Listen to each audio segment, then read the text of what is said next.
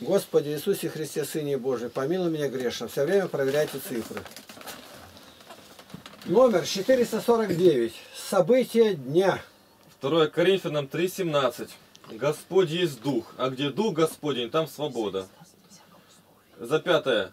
Марта 2017 года. То есть это за воскресенье вчера. А тут объявление, я просто буду продергивать. А кто смотрит, затормозите. С нами утром выходите на молитву, если хотите. Вместе можем молиться.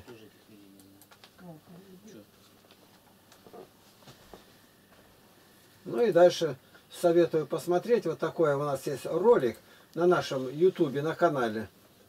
Вот это вот оно указано здесь. И о нем отзывы какие. И там много комментариев. Очень полезно комментарии прочитать.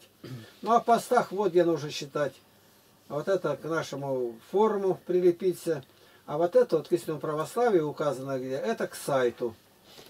Вот вчера интересно, уже забыл об этом. Завтрак называется. С 7-15. Посмотрите. Вот этот ролик обязательно посмотрите. Как раз это к нам приехали люди в лагере, обедают ну, вторую там дальше столовая продленная. Вот сегодня мне пишет, считай. Вера Мурник. Христос посреди нас. Игнатий Тихонович, мой отец читает псалтирь за живых и умерших. Кто бы то ни был, пьяница, злодей и так далее, кроме самоубийц. Но папина сестра пятидесятница, она постоянно его упрекает, что не надо молиться за пьяниц, потому что в Библии сказано ясно, что пьяница Царствие Божие не наследует. И хотя я ей объясняю, что нам стоит за них молиться, потому что нам не дано судить человека, какой он, и достоин ли он молитвы или нет. Но тетке, как и всем сектантам, нужны доказательства из Библии. Подскажите ради Бога, на чем основать свои доказательства? Где их найти в Библии? Спасибо огромное, да хранит вас Господь. Я отвечаю. Игла, Игнатий Лапкин, в данном случае ваша тетя права. И дальше считай. 1 Иоанна 5,16. Если кто видит брата своего согрешающего грехом не к смерти, то пусть молится, и Бог даст ему жизнь. То есть, согрешающему грехом не к смерти. Есть грех к смерти, не о том, не о том говорю, чтобы он молился. То есть есть грех смерти, о нем нельзя молиться, это за живого. Про мертвых вообще молитве, ну, указаний нет в Слове Божьем. Дальше. Еремея 7,16. Ты же не проси за этот народ, и не возноси за них молитвы и прошения, и не ходатайствуй предо мною, ибо я не услышу тебя. За живых даже нельзя молиться. Это в Ветхом и в Новом Завете. А про мертвых и говорить уже не надо. Там раба твоего, а какой он раб, пьяница-то? Там сама молитва говорит, что нельзя за них молиться. И Еремия 11.14. Ты же не проси за этот народ, и не возноси за них молитвы и прошения, ибо я не услышу, когда они будут взывать ко мне в бедствии своем. 2 Коринфянам 5.10. Ибо всем нам должно явиться предсудилище Христова, чтобы каждому получить соответственно тому, что он делал, живя в теле, доброе или худое. 1 Царство 2.25. Если согрешит человек против человека, то помолится о нем Богу, если же человек согрешит против Господа, то кто будет ходатаем о нем? Но они не слушали голоса отца своего, ибо Господь решил уже предать их смерти. Когда не слушает, означает все, уже он приговоренный. Везде. Особенно это во втором во второй книге Паралипоменон 25.16. Когда пророк обрещал царя, а тебя кто ставил? Что ты лезешь-то ко мне? Он говорит, я понял. Ты согрешил и не каешься, Бог решил тебя убить. Евреям 10.26. Ибо если мы, получив познание истины, произвольно грешим, произвольно, то есть так, привыкли по ходу дела, то не остается более жертвы за грехи, но некое страшное ожидание суда и ярость огня, готового пожрать противника. Даже призывание имени Божия ничего уже не поможет. Если отвергшиеся закона Моисеева при двух или трех свидетелях без милосердия наказывается смертью, то сколь тягчайшему, думаете, наказание повинен будет тот, кто попирает Сына Божия и не почитает за святыню кровь завета, которую освящен, и Духа благодати оскорбляет. Матфея 12.32 Если кто скажет слово на Сына Человеческого, простится ему. Если же кто скажет на Духа Святого, не простится ему ни в всем веке, ни в будущем. А тут за мертвого, речь это о мертвых молится. Евреям 6.4. Ибо невозможно однажды просвещенных и вкусивших дара небесного, и соделавшихся причастниками Духа Святого, и вкусивших благого глагола Божия и сил будущего века, и отпадавших опять обновлять покаянием, когда они снова распинают в себе Сына Божия и ругаются Ему. Ну, это считается одно место, 6-4. А тут бывает 4 больше стихов. Вопрос задам, сколько? 2. Вот это вот дальше. 3, 4, 5, 6, 7, 8. 8 мест Писания ей показал. Можно поверить теперь? Можно. Дальше. Александр Гребенюк. Здравствуйте, меня зовут Александр Гребенюк. Мне очень понравилась ваша философия и наставление. Хорошо, что еще есть такие люди в нашей православной вере. Дай Бог вам терпения и крепкого здоровья. У меня к вам вопрос. Правильно ли я поступил или нет? У меня еще два родных брата. Отец нам оставил наследство квартиру. Я отказался от наследства, чтобы не поссориться между собой. Но жить остался с родителями, так как они пожилые и требуют человеческого внимания. Братья все равно чем-то недовольны и со мной не общаются. Так как мне жить, чтобы не обидеть ближнего человека, если отказался от всего? Видите как? Вопрос. Я вначале вижу три брата, ну, сильно похоже на рассказ такой это. Но если это действительно так, тебе зачем на это обращать внимание? Недовольный, ты не виновен. Да делай, как живешь, и живи открыто, чисто, красиво, и благодари Бога. Ну а дальше дело покажет, как будет. Они недовольны, а еще сделал. Мой брат тут старший был недоволен.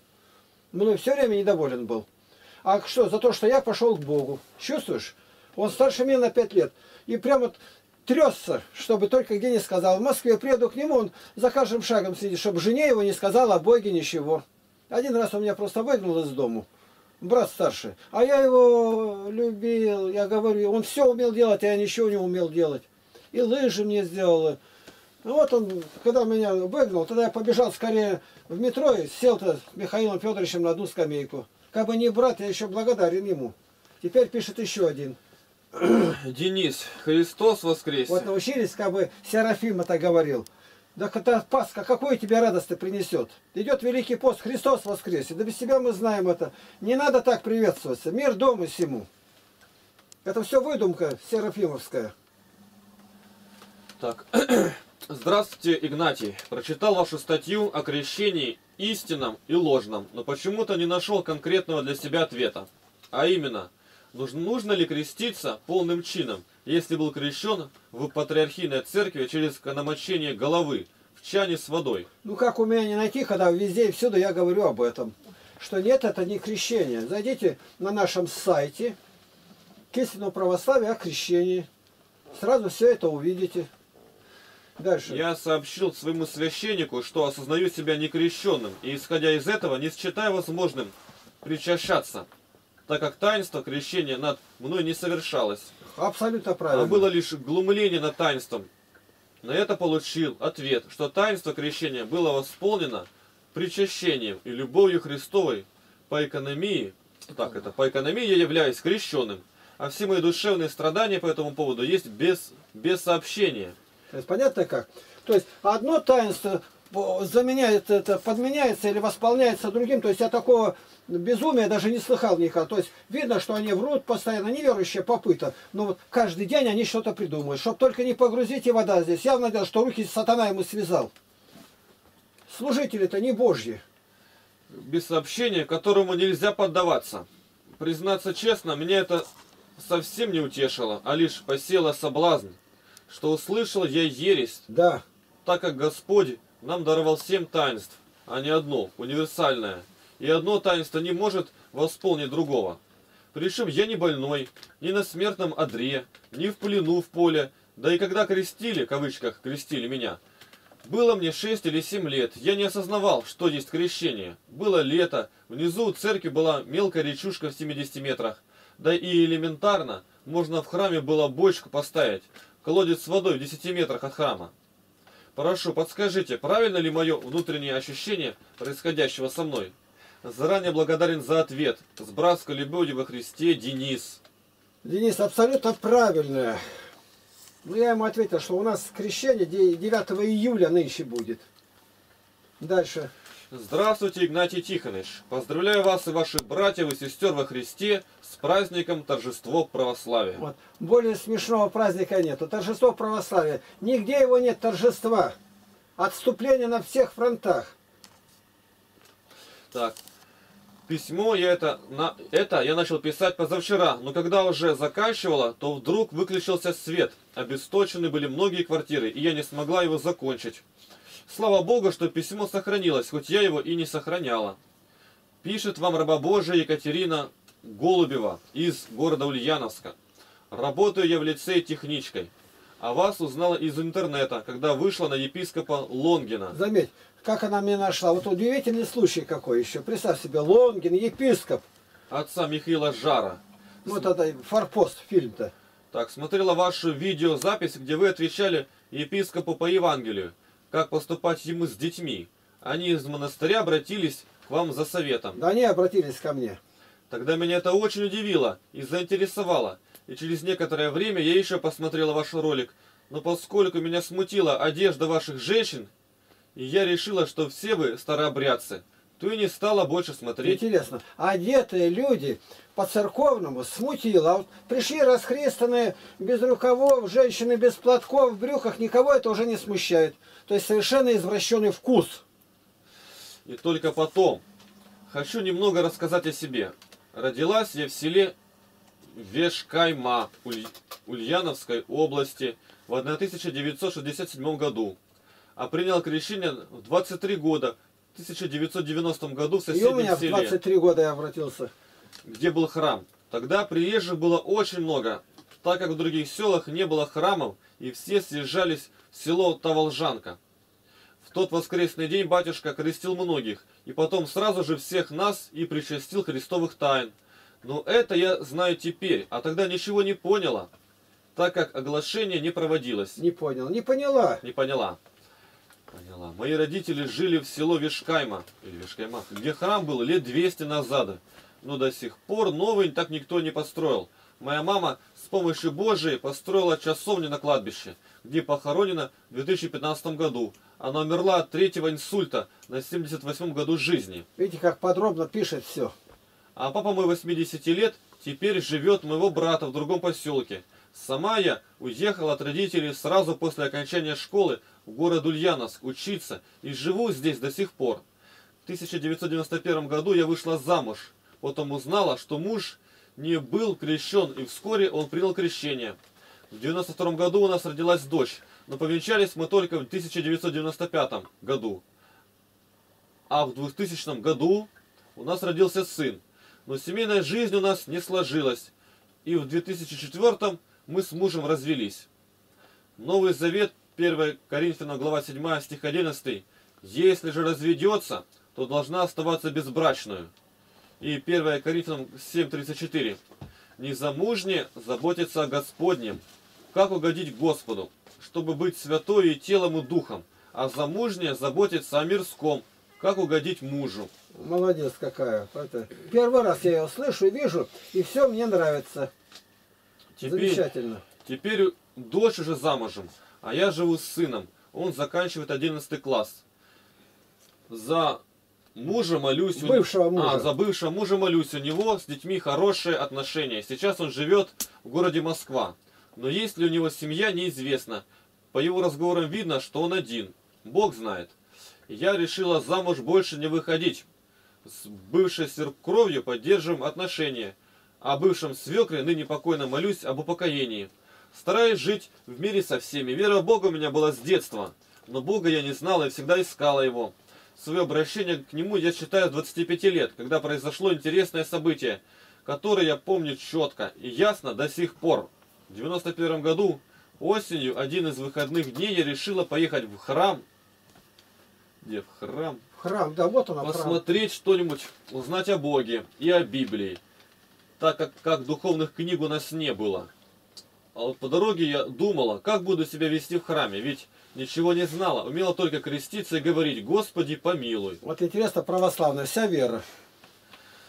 Да еще думала, что в храм никто не ходит, и там будет мало народа. Но каково же было мое удивление, когда я пришла, не смогла войти в храм из-за многолюдства. Пока стояла в притворе, в толпе, то увидела на стене объявление, то есть написанное правило, как себя вести в храме. Прочитала его, но долго не, не смогла стоять и решила пойти в лавку. Там мне посоветовали купить Новый Завет, молитва слов, и я купила, и там же узнала, почему было много народа в тот день. В тот день был праздник Рождества Богородицы, 21 сентября. В этот же день я стала читать Новый Завет, и мне сразу же поразила мысль, что никто из грешных людей не смог бы его написать. С этого момента я решила менять свою жизнь, но поскольку уже была замужем, а грехов была тьма, и смертных тоже, то путь моего очищения был долгим. Сама я изучала православную веру, искала духовного руководства, прочитала всю Библию, закон Слушай. Божий, многие жития святых и поучения святых отцов. Новый Завет по нескольку раз и толкование на него. Псалтирь, которая мне особенно понравилась, и я научилась читать ее по-церковно-славянски. Выучила многие молитвы.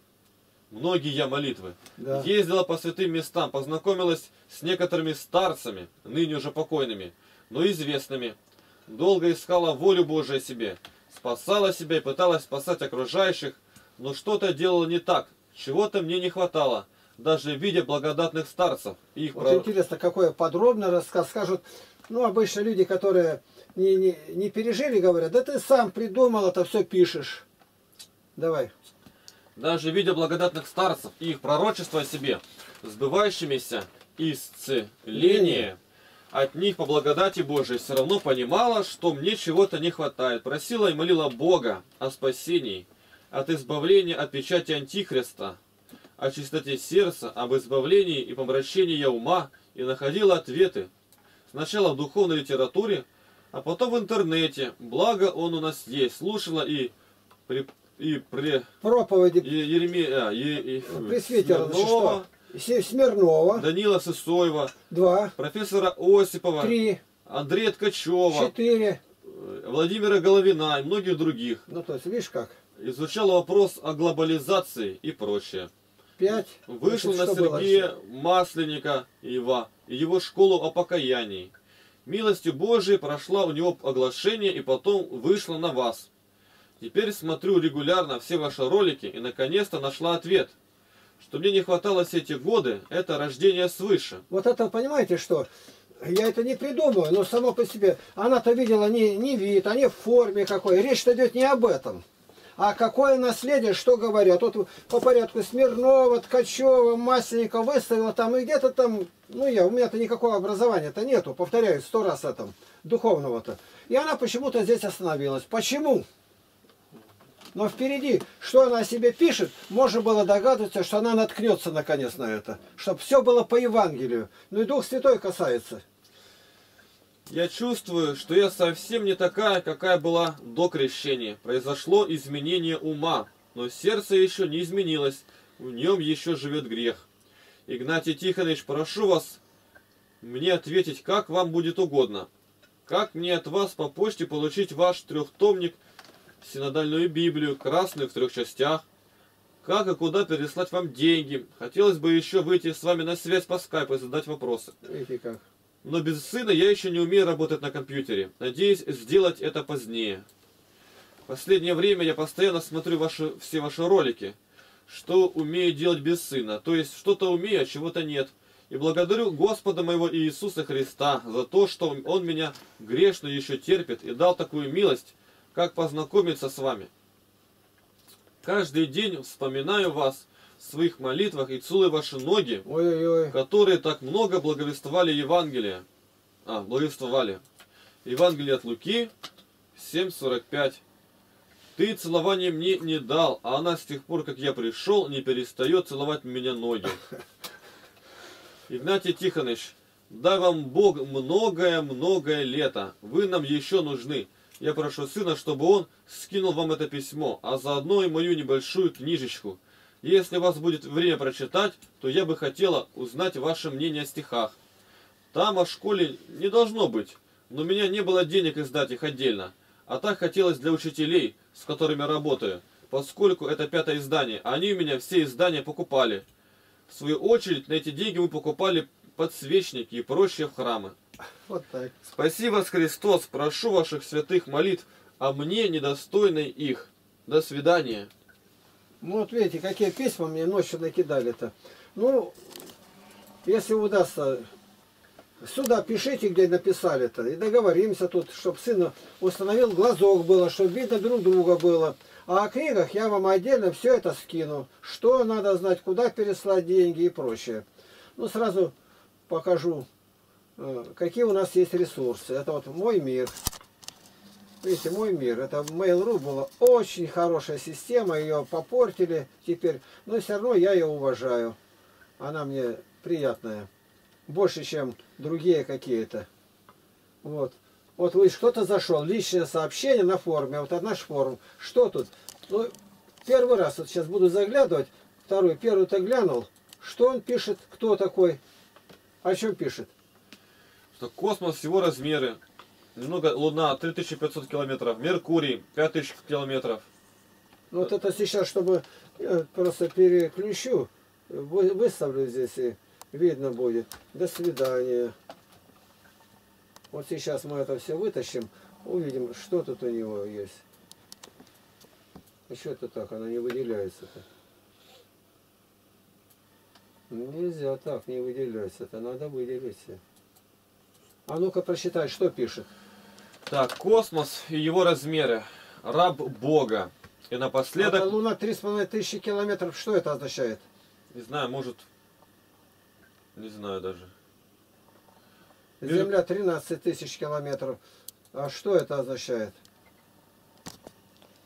Нептун.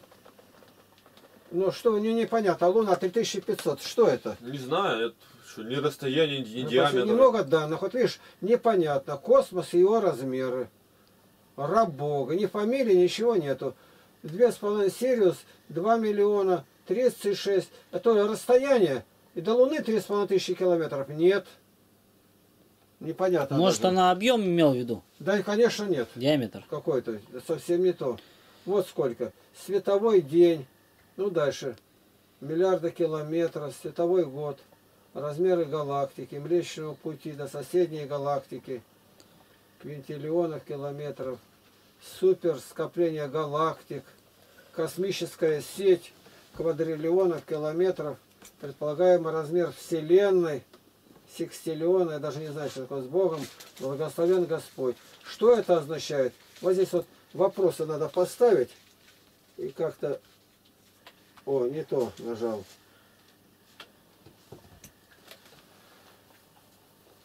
Вот здесь вот. Ну, вообще это интересно. Э, Надо узнать, что эти данные означают. Ну, о Луне, о Земле, ясно дело, что совершенно не то.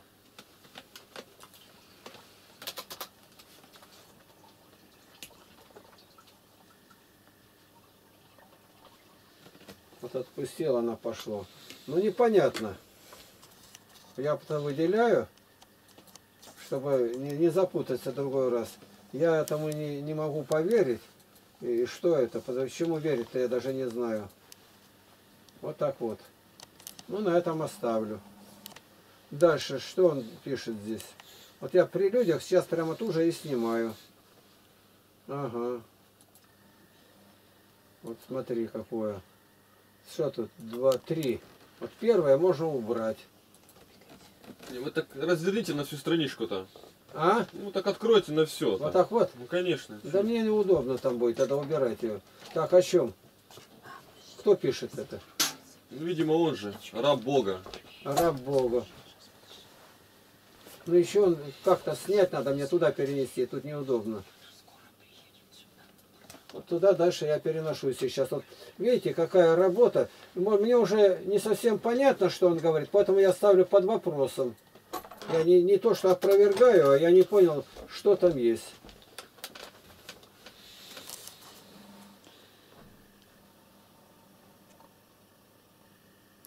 Это не то. Она что, не, перека... не перекачалась сюда, да? Он не мог взять ее или еще? Кого? Чего? А внизу еще ниже. Надо на всю страницу открыть, я же говорю. тут- Ну, м, открыть. Второй вот этот вот. Ну, открыть. Ладно, открыли. Еще мы сделаем. Открыли, еще открыли. Что это дало нам? Нет, письмо-то, письмо сначала открыть. О, Вот. Ну, еще теперь размеры. ну это видео есть в интернете. Ага, вот как надо было сделать. Маленько не так. Ну, прошу прощения. Теперь вот так. Теперь что здесь нужно еще? Космос. Ну, он, э, видимо, хочет познакомиться, и даже еще не знаю. Еще не видел, прямо отсюда. Что он пишет? Так, э, э, мир вам, Игнатий Тихонович. Хочу поделиться с вами интересным видео, найденным мной на просторах интернета. Видео показаны размеры космических тел, начиная с Луны, заканчивая мультивселенной. Вымысел автора видео, которое он сам ставит под вопрос. Видео сопровождается реальными данными размеров спутников, планет, звезд, галактик и так далее. Это видео заставляет задуматься. Вот само видео. Дальше уже не надо. Что интересно, в этом видео все объекты имеют шарообразную форму, кроме галактик. Так почему же наша Земля должна отличаться от них? Сегодня каждый себе может купить домашний телескоп и смотреть на планеты, звезды и Ну даже... ладно, понятно, что мне уже все понятно. Теперь я коротко делаю, что убираю это и убираю это. Мне это не надо. Кто-то сейчас на... Нет, километры, квадриллионы.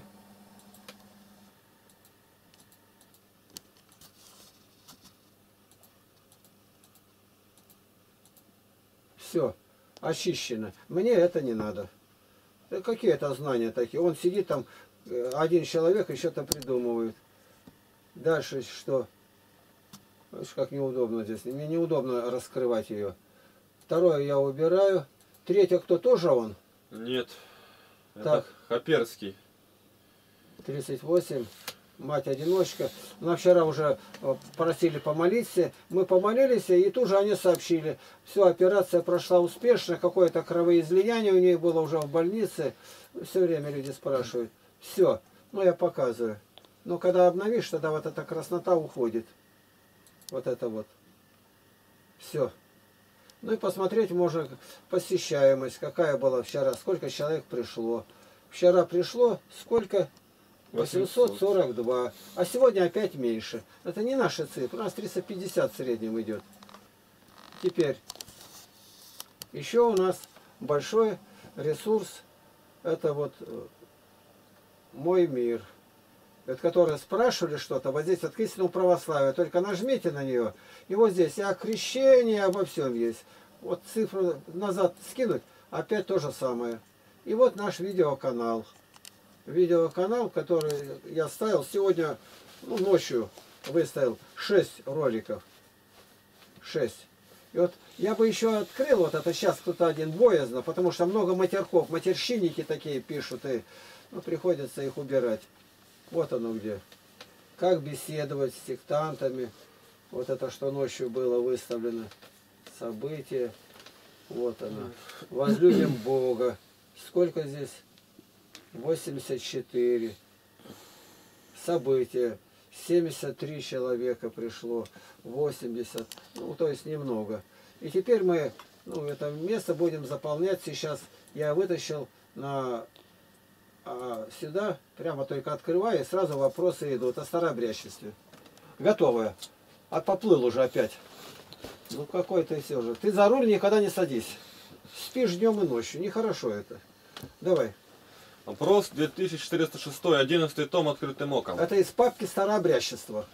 Меня интересует положение в старообрядчестве. Вы говорили, что они не допускают абсолютно никакой критики в свой адрес. А как же выступление на их соборе митрополита Андриана, где он прямо говорит, что у них есть у них недостатки, и от них нужно избавляться? 48 страниц. Ответ. Действительно, в докладе были добрые слова, но им не сдвинуться, потому что на первом месте стоит обряд, а не Библия и не Христос, воспринятый через личное уверование человека, встретившегося со Христом. Им эти мои выражения уже кажутся кощувственными. Они уничтожают у себя любую живую мысль, которая указывает на то, что они не имеют никаких преимуществ со своим двуперстием пред Богом. Я сам был среди них и испытал это на своей душе и плоти. У архиепископа Иосифа тогдашней главы их архиепископии, был духовник протеерей Павел Морозов. Этот священник страшно ненавидел меня и гнал меня, и добился моего отлучения. Но вскоре он жестоко поплатился. То есть невиданное Бог сделал тогда. Я такого даже не, не знал. Я тогда понял, что меня Бог защищает везде. Сам был извергнут из сана, и за него запретили даже молиться за мертвого. О как! Образовалась особая ветви в старообрядчестве во Фрунзе его дочерью Марией. А меня тотчас и восстановили, но отлучили его не за грех плотской, а, как говорилось, за разоблачение их священников, сотрудничавших с властями. И сам архиепископ был виновен в этом. У них есть священный инок Симеон Дурасов, который написал прекрасное письмо на их собор. И они его, думаете, восприняли? Как бы не так. Они по обычной своей злобе думали, удумали его задавить. А таких обличительных писем они получили не так и много за 300 с лишним лет. 4 по 6 августа в Москве прошел совет митрополии Русской Православной Старообрядческой Церкви. Совет рассмотрел различные текущие вопросы. Наиболее важным был второй день, 5 августа, когда на заседании Совета были зачитаны открытое письмо собору РПСЦ священноинока Семена Дурасова и ответ на Него. на него инока Олимпия Вербицкого. Сам отец Семен Дурасов был приглашен на заседание, но так на него не явился. Письмо это было участниками совета сочтено еретическим и капитулянским. О Участ... как! Заметьте. А говорите, принимает что-то, ничего они не принимают. Еретическим, это их священник написал. Вот и теперь слушайте. Участники совета единодушно высказали свое отрицательное отношение к этому прискорбному документу. Были продолжены попытки вызвать отца Семена для объяснений, но он, очевидно, отключил свой телефон. Тогда была создана комиссия во главе епископа В составе. со- Где во главе ты берешь? в составе епископа Зосимы Еремеева, митрополичьего диакона Виктора и инока Олимпия для подготовки заключения по делу об опровержении открытого письма священноинока Симеона. Прозвучало даже предложение извернуть отца Симеона из священного сана, но в последний момент совет все же решил, в надежде на покаяние отца Симеона, в случае, если он не появится до закрытия совета, объявить его о запрете до священного собора, намеченного на осень, который должен окончательно решить вопрос о священстве Симеона Дурасова. Отец Симеон и ранее был известен своими симпатиями к РПЦМП, что в полной мере и выразилось в его известном письме с изложением экуменических взглядов. Отметим, что практически никто из присутствовавших не попытался их отстаивать. Напротив, многие были настроены весьма критически в отношении содержания открытого письма. Открытое письмо о священному собору РПСЦ священноинока Семена Дурасова. Вот теперь слушайте письмо. Его не каждый найдет, но у меня оно есть. Кавычка открыты. Господи Иисусе Христе, Сыне Божий, помилуй нас. Аминь. Преосвященнейшим владыкам, честным отцам и всем братьям о Господе радоватися. С 10 ноября 2003 года по новому стилю на память святой великомученицы Поросковьи Пятницы в здании Старообрядческой митрополии Московской и всея Руси Преосвященнейший митрополит Олимпий и протеерей Леонид вручили мне бумагу следующего содержания. 10 октября 10 дня лета 7512 указ изучив послание Иерея Сергея Сергия Дурасова и многочисленные достоверные свидетельства о его деятельности последние полгода, я пришел к выводу о большой вероятности того, что здоровье этого иерея серьезно подорвано. В связи с вышеизложенным предписываюсь иерею Сергею Дурасову. Первое. До выяснения состояния его здоровья воздержаться от любых священнодействий. Второе. В кратчайший срок прибыть ко мне для беседы. Олимпий, митрополит Московский, всея Руси. Каждому понятно, что речь в этом документе идет не о простуде и не о каком-то физическом увечье, а о душевном заболевании. Только врачебная комиссия может подписать заключение о состоянии психики человека, которое будет иметь законную силу в глазах органов власти, гражданского общества, да и сам, сам, самой церковной среды. Таким образом, решение вопроса о вменяемости действий и писаний Иерея Дурасова должно быть доверено врачам-психиатрам. Я боюсь, что за множеством других забот наше начальство еще долго не соберет такую комиссию. Это он пишет. И христиане будут вынуждены сами на свой вкус и разум строить догадки, сошел с ума Дурасов или нет. Но я постараюсь сам по мере сил прояснить этот вопрос.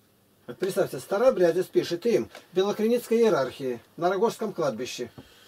В сентябре 1983 года я, студент третьего курса Московского университета, был направлен в психиатрическую больницу имени Кащенко, потому что сказал человеку в белом халате, что о состоянии современного общества и о его перспективах предпочитаю судить не на основании программы КПСС, а по Святому Евангелию, апостольским посланиям и писанию святых отцов, в частности, по слову преподобного Ефрема Сирина о кончине мира и об антихристе.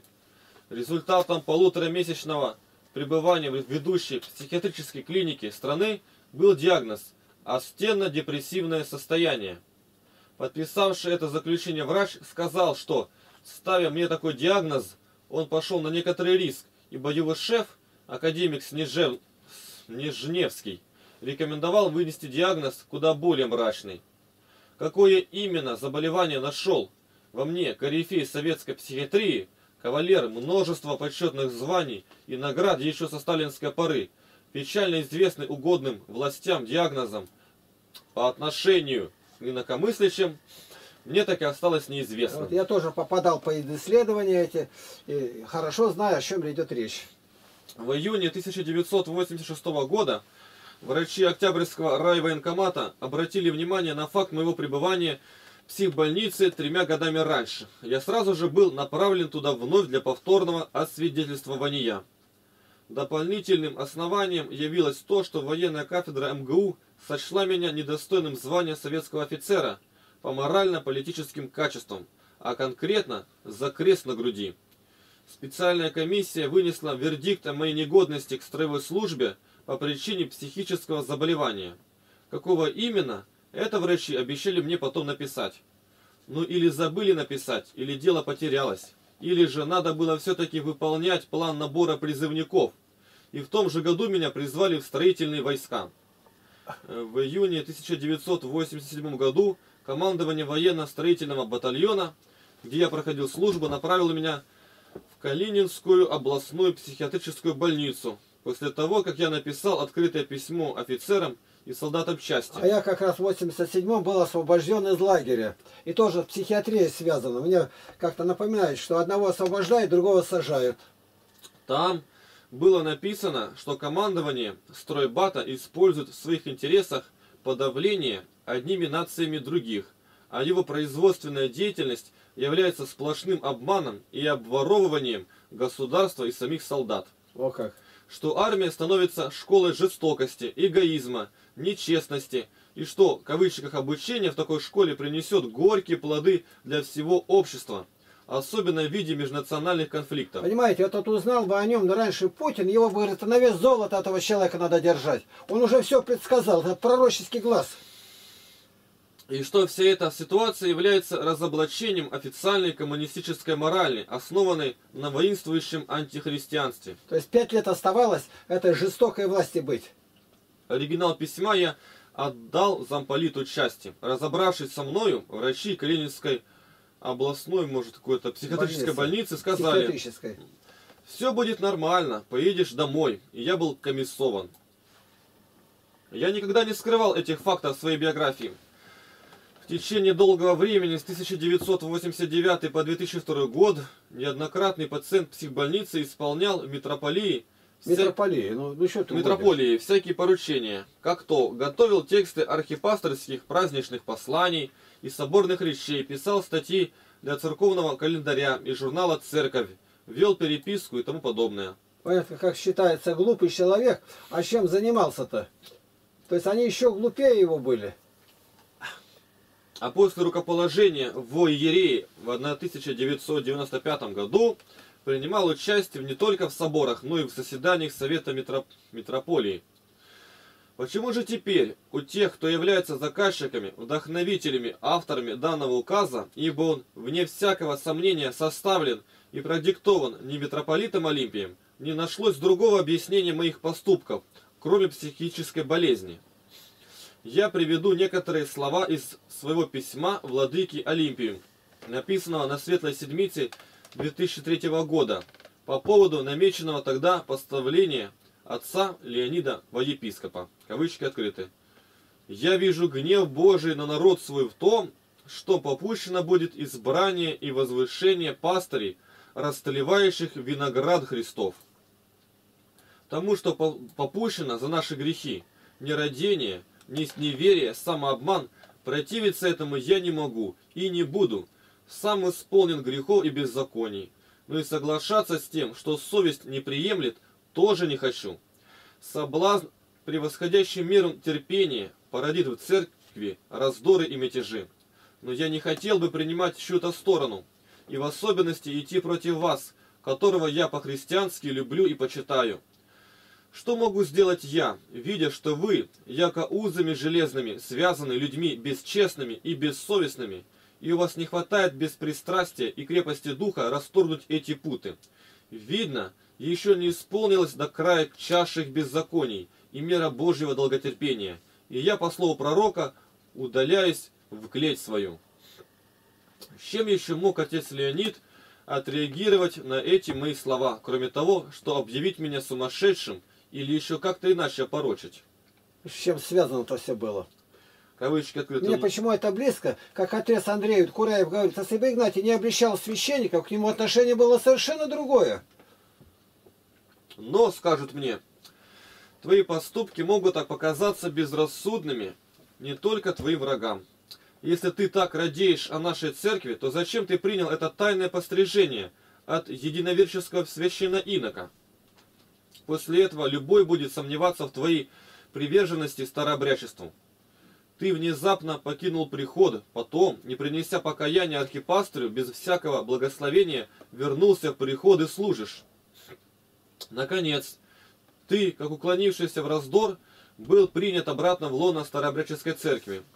Но не своим митрополитом, как подобало, а белокленицким митрополитом Ле Леонтием, создав еще один повод для преткновения между митрополиями. И опять, не присоединился официально к митрополии Белокреницкой, не вернулся и в подчинение Московской митрополии. Ты себя и всех запутал. И как понимать твое теперешнее положение? Вот точно так, как нам сейчас говорят. Понимаешь, как копия какая снятая. Приж... Наши, главное, Володя, они знают, он приезжал к ним, а Валентина, сестра моя. При желании в кормче нетрудно найти правила для того, чтобы объявить о моем извержении священного сана. Это он пишет. Но обязательными основаниями для применения любых церковных правил являются первое – Святое Христово Евангелие. Второе – непорочное исповедание православной христианской веры. И третье – познание воли Божией в данном конкретном случае. То есть все правильно говорит. Если же архиереи или даже собор любого уровня предпочтут руководствоваться не святым Евангелием, а какими-то другими соображениями, если они будут обличены в уклонении от православия, и если станут искать не исполнение воли Божией в обсуждаемом деле, а преследовать некие земные цели, то как они смогут принудить Всевышнего Бога утвердить то, что ему не угодно? И какой... Вот об этом говорит Феофан Затворник. Если там архиерей, священник говорит благословляю, а Бог говорит не благословляю, то что будет утверждено на небе?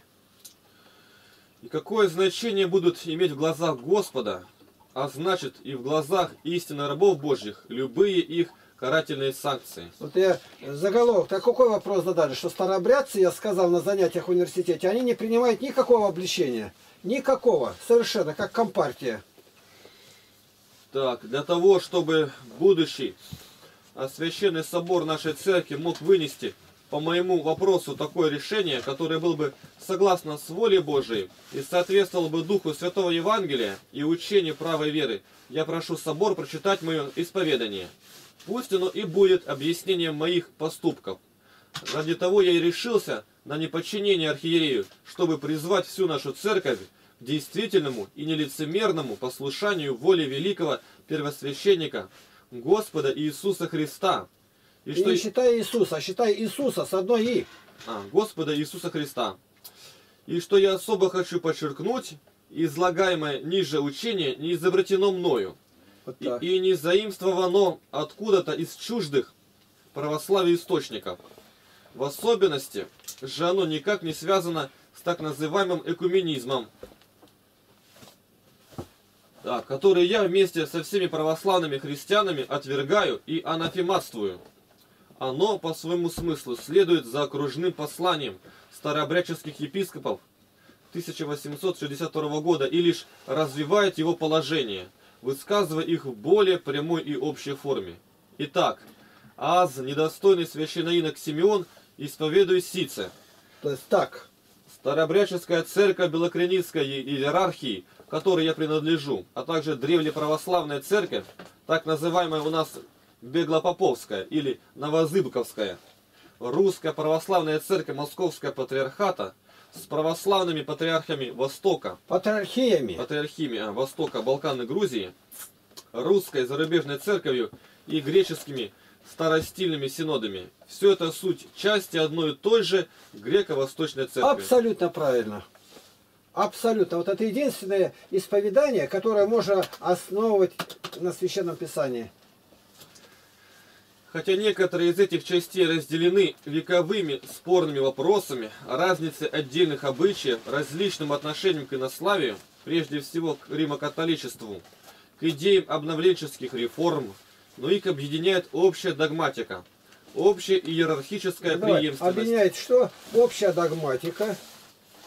Общая иерархическая преемственность, общие исторические судьбы, общий канонический и литургический строй, общая византийская культурная основа. Вот так. Эти церкви по отношению друг к другу, поместные общины, это части, члены единого тела Христова. Ни одна из них не может объявлять себя телом Христовым во всей его полноте. И, как таковая, приписывать себе непогрешимость и самодостаточность. Это мистическое единство, не умозрительное построение, не мечтательное переживание, а реальность надмирная, бесконечно большая, чем видимое разделение. Впрочем, оно проявляется и зримо при части святых и животворящих таинств. Молодец какой. Представь, у старобрядцев. Я считаю, у них один человек за сто лет такой рождается. До него был епископ Михаил Семенов, канадский.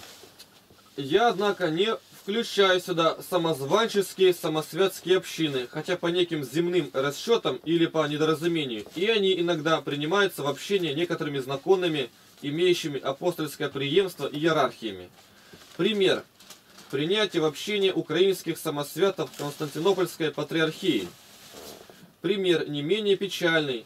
Принятие старообрядческим епископом Силуяном Новосибирским в общение изуверной лжеправославной секты в 95-97 года.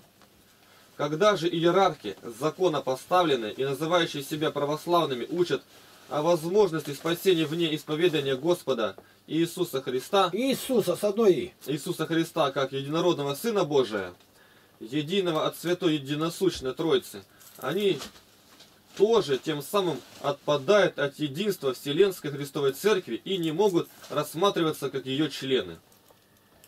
Я верую и утверждаю, что священники и миряне всех указанных здесь церквей на своих литургиях причащаются от единого тела Христова и пьют от единой чаши его спасительной крови. Меня тогда спросил, вот он говорит, Олимпий-то, тут впереди было говорено, и спрашивает меня, а вы как считаете, у патриархии там таинство, тело Христа? Я говорю, конечно. Они сразу стали, так а что тогда с ним разговаривать, если он признает ее? И благодатные дары, при этом подаваемые, одни и те же. И чудотворное, целительное для души и тела воздействие таинств одно и то же. Опыт тысяч священников, наблюдавших это, описанный множество раз в древних и в новых книгах, одинаков, независимо от того, по какому обряду и в каком из восточно-православных обществ они служат. Это говорит вообще слова, даже не, не, не скажешь какие, богохульные, посчитают старобрядцы. Как это? У Никоньяна вдруг таинство. Отрицать это и утверждать, что у нас во святых таинствах действует Дух Божий, а у них Дух лукавый может только или не знающий, или недобросовестный человек. Церковь есть не Да. просто человеческое единство, но богочеловеческое, скрепленное честною кровью вочеловечившегося и пострадавшего за наше спасение Бога Слова. Да, между нами, причастниками этой честной крови, произошли некоторые разделения крови по нашей человеческой ограниченности и страстности.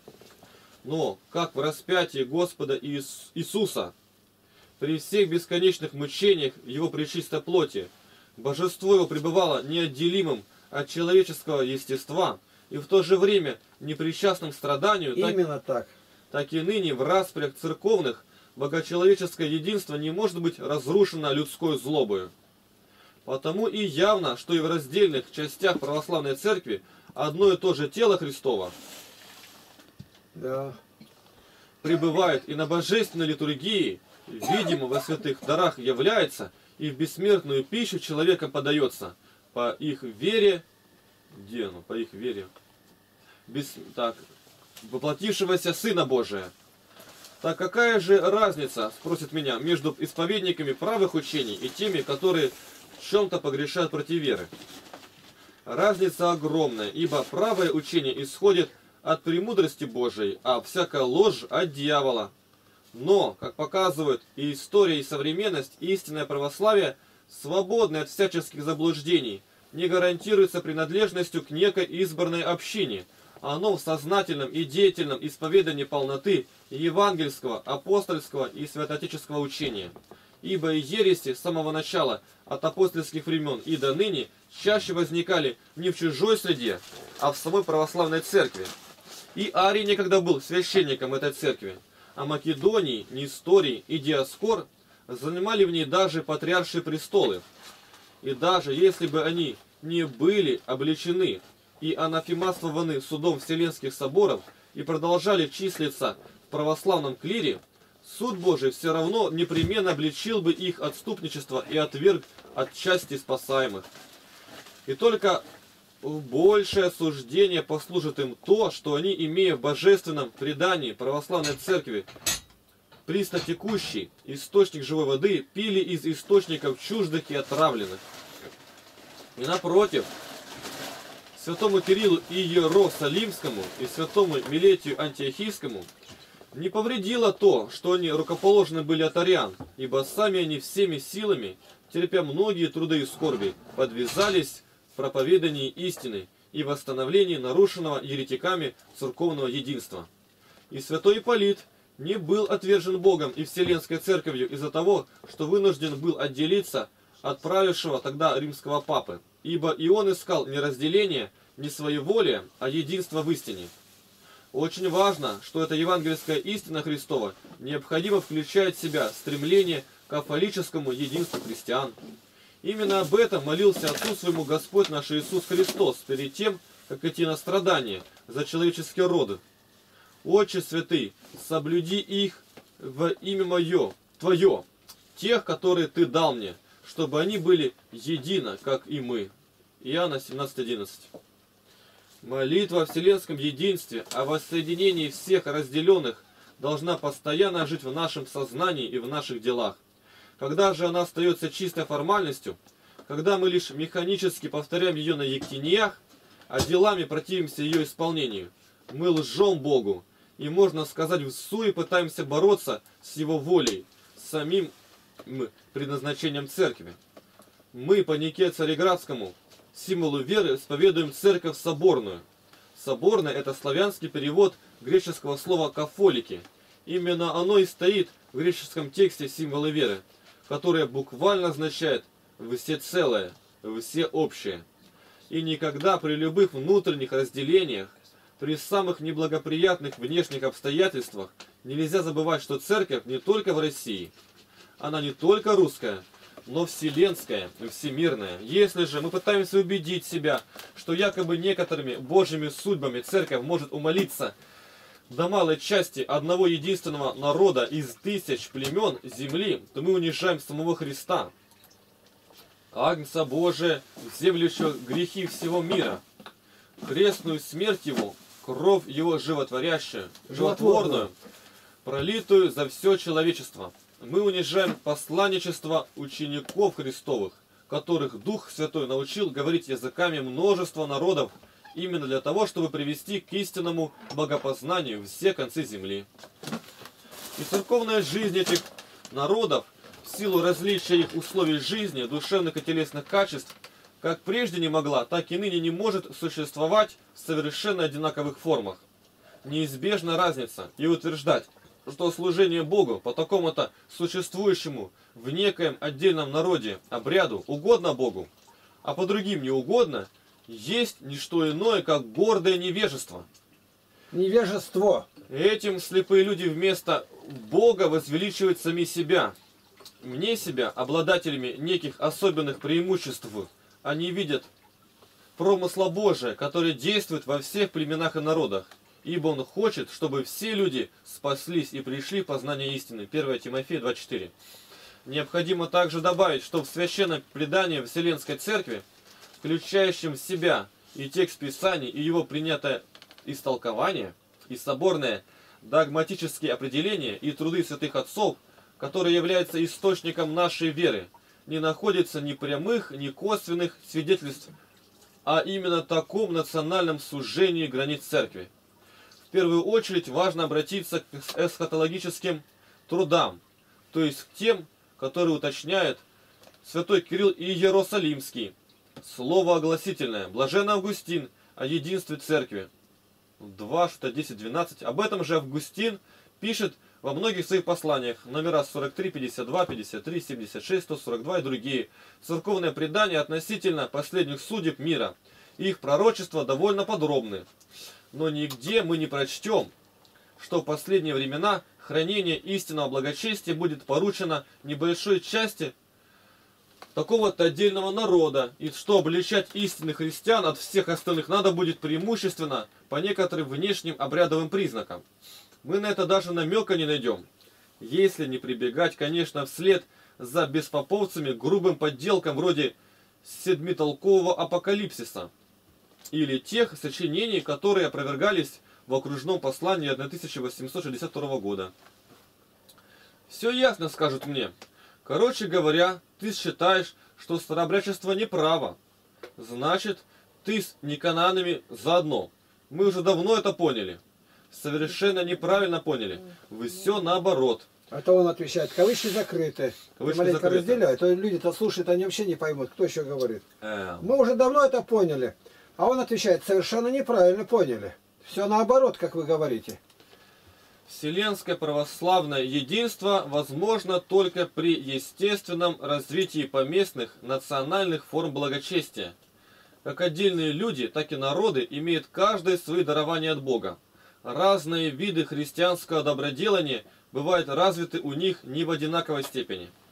Греки принесли в дар церкви тонкую искушенность своей богословской мысли и поэтический дар. Римляне с самых первых веков наиболее сильно проявили у себя в христианском социальном служении, в социальном христианском служении. Египетские отцы явились учителями всего христианского мира в отсечении душевных страстей и греховных навыков, кропотливом созидании в себе нового человека. Сирийцы в чистом молитвенном созерцании неизреченного. Русские, по мнению некоторых мыслителей, Трубецкой, Аверинцев, более других народов, свойственно сильное чувство красоты церковной, выраженное в синтезе архитектуры храмов, иконописи и богослужебного чина.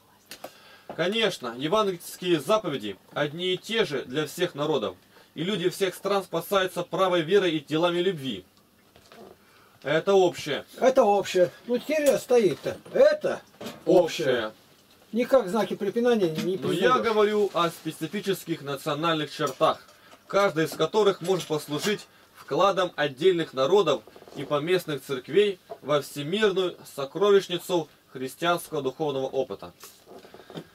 Так и происходило издревле. Мы с благоговением внимаем богословскому учению великих греческих отцов. Учимся на превосходящих естество человеческое подвигах сирийских и египетских аскетов. И никто из русских православных людей не дерзнет сказать, что мы могли бы обойтись и сами без них. Иконописанию мы тоже научились у Византии.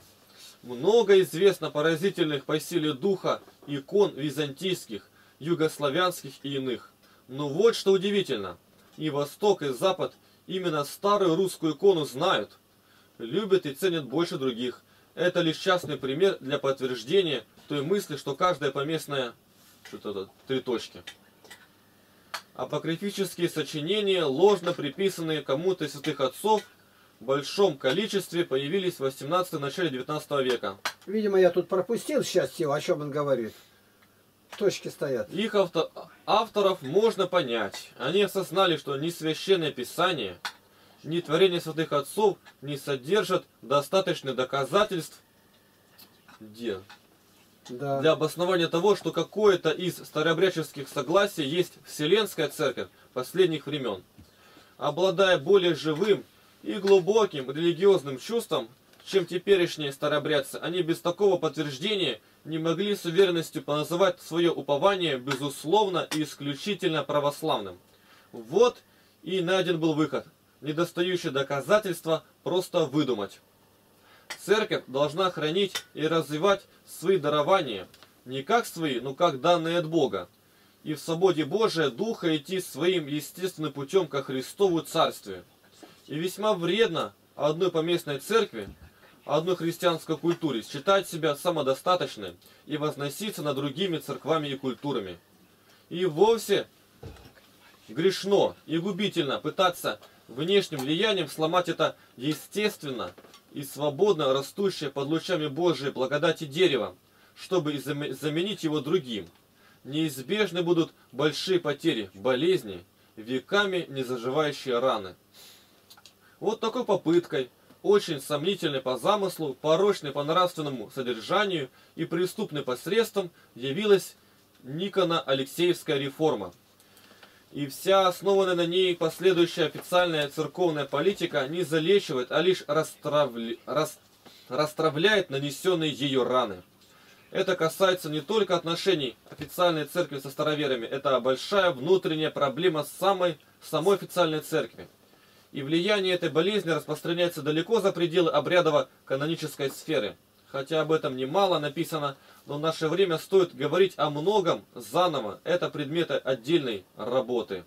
А сейчас я могу лишь выразить свое решительное убеждение, что ни простое поглощение староверия новообрядческой церковью, ни какая-то уния, вроде уже бывших в истории, не полезны для общего нашего блага, для исцеления от раны раскола обеих частей прежде единой русской церкви, и старообрядческой, и, в кавычках, никонианской. Предстоятели и идеологи церкви новообрядческой, как и прежде, считая ее господствующей, по сути государственной и потому уже вдвойне непогрешимой, к сожалению, до сих пор не пытаются критически рассмотреть ее путь за минувшие три с половиной века. Официальный выраженный не в декларациях ОВЦС, э, а в каноническом праве подход к ее проблеме раскола не изменился с дореволюционной поры. Но и наши старообрядческие подходы подчинены только одной цели – отгородиться от никониан любой ценой, вплоть до неправды и хулы. О как. Они Здорово. таковы, как будто это нас, ныне живущих старобрядцев, только что сняли с дыбы или вытащили из костра. И мы, кроме этих дыбы и костра, ничего перед собой не видим и не понимаем. Это тоже болезненный признак, говорящий теперь уже о нашей духовной слабости. На- Слабости. Слабости. Вот первые слав и дальше как будто не говорил ничего. Все время заедает и все. На основании духовного опыта множества людей, в том числе и старообрядцев, достойных доверия по своему благочестию и добродетельной жизни, среди которых были священники и епископы, можно решительно утверждать, что благодать Божия не покинула тех, кто после раскола остался в церкви Никоновской. Это не оправдывает запятнанных кровью церковных прогрессистов-революционеров, как 17-18-20 века. Не извиняет тех, кто был повинен во внесении в учение и жизнь церкви, чуждых православии новшеств, но это настоятельно убеждает нас в том, чтобы искать и искать пути к воссоединению. Нас, разделяющихся друг с другом, порой жестоко, несправедливо порицающих и даже проклинающих друг друга, благодать не оставила. Почему? Потому что мы, несмотря ни на что, едины у Христа. И Божья воля такова, чтобы мы, те и другие, с верой и самоотвержением потрудились еще здесь, на земле, восстановить наше единство. Не так, как это кому-то выгодно или удобно по земным меркам, а так, как это угодно Духу Святому. Ищущим ее еще будет открыто, как именно, но это, безусловно, должно произойти.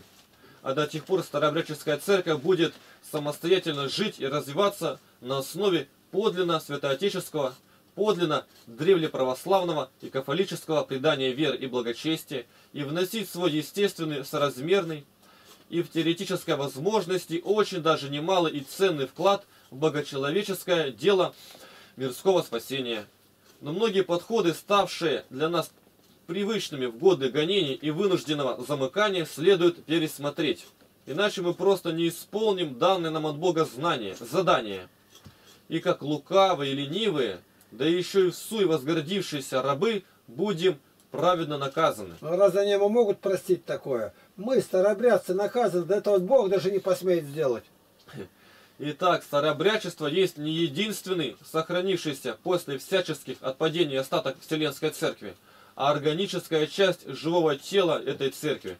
Это не попытка подвести старообрядчество к капитуляции, а напротив, обоснование новой наступательной стратегии – во-первых, этот тезис помогает нам осознать свою духовную ответственность за многие миллионы совсем не чужих для нас людей. Во-вторых, он позволяет правильно определить как главные, так и ближайшие цели и средства их достижения, и не с упрямой, возведенной в принцип пассивностью, уступать позиции перед лицом религиозного равнодушия, а также воинствующего оккультизма и сектанства, а вновь и вновь исполняя повеление нашего божественного учителя, обещавшего пребывать с нами до окончания века. Идти и учить все народы. Матфея 28, 18. Начиная с народа собственного, русского. Наше дело не бегство в тайгу или, скажем, за ограду Рогожского кладбища, а борьба за спасение мира, за грехи, которые был заклан Агнец Божий, наш Спаситель и Первосвященник. Несомненно, благосостояние святых Божьих церквей и совокупление всех есть дар, чаемый нами от подателя всех благ. Если церковь извечно молится об этом при каждом богослужении, то значит она верит, что получит просимое, ибо молитва без веры только оскорбила бы Бога.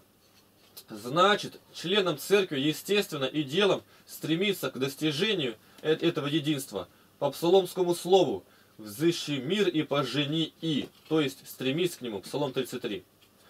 Ставшая же для нас привычная мысль о фатальном и всячески неотвратимом вероотступничестве всех вокруг не только парализует нас во внешней деятельности, но еще и не дает бороться с проявлениями духа отступления в нас же самих.